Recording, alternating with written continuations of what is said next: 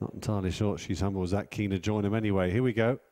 They're off. This time She's Humble does jump off. She's about four or five lengths behind them, but they're off and racing for this Lingfield Racecourse tips.co.uk handicap chase.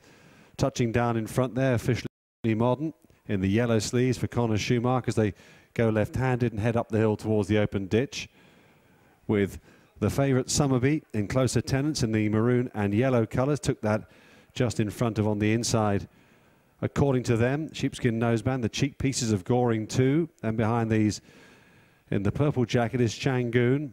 Wider out then to 7th Hussar. And at the back of the field, that She's Humble. Rusty Nail in the black and green colours there, sitting in about 4th or 5th place as the runners now head down the hill. So pace being set by Conor Shoemark on officially modern.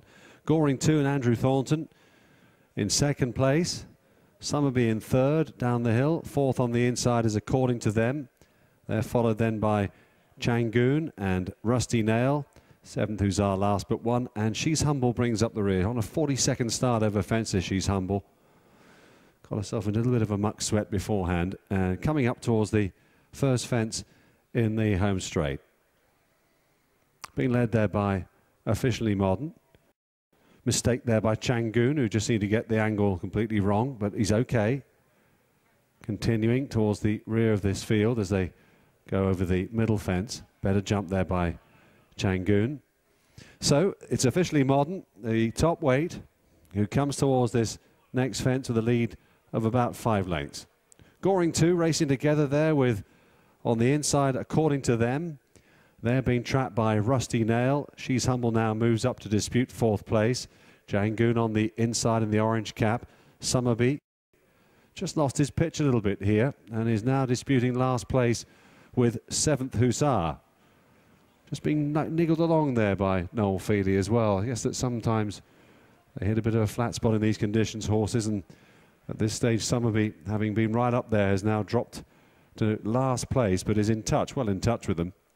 But at this stage, doesn't seem to be enjoying himself all that much, to be honest. They're heading across towards the far side. And officially, Modern leads Goring Two. Looked a real picture in the paddock beforehand. He's in front then in turn of She's Humble, who goes up to competitive third now.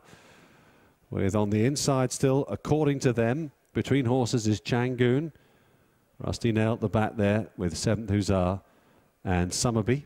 See how they jump the first of four fences down the back straight. And the answer is pretty well. She's humble, though, just missed it a touch. Just knocked her back a little bit there. Having been up with the leaders now, it's knocked her back to a dispute of last place. They go over the next fence. And still in front. He's lost his iron there, didn't he? The leader, officially modern, Conor Shoemark, did well to recover from that. Much better jump there, that one, though. They all jumped that one well, and they're going on now towards the open ditch over on the far side. So officially modern from Goring 2.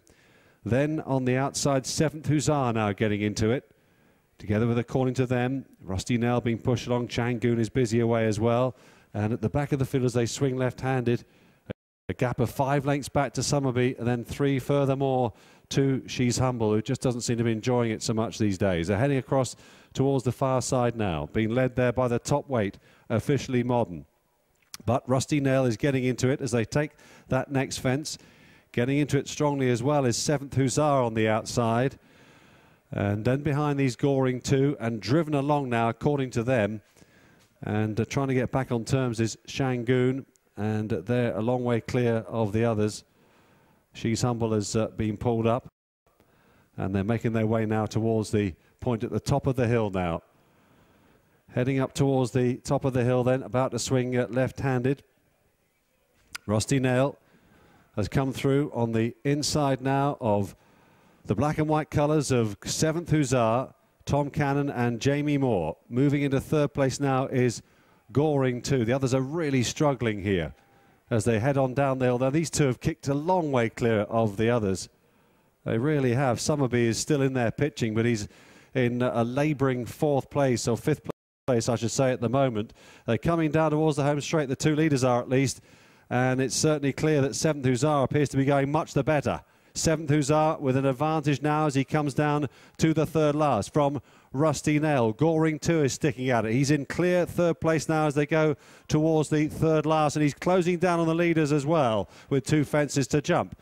So, seventh Hussar coming up towards the second last in the hands of Jamie Moore. Up towards it, a good leap as well when he needed one. He's five clear of Rusty Nail, who's three in turn in hand then of Goring 2 and then Summerby at the back of the field there. A faller officially modern. The final fence coming up now for 7th Hussar, who's over it in decent style. He's 10 clear of Rusty Nail and Goring 2.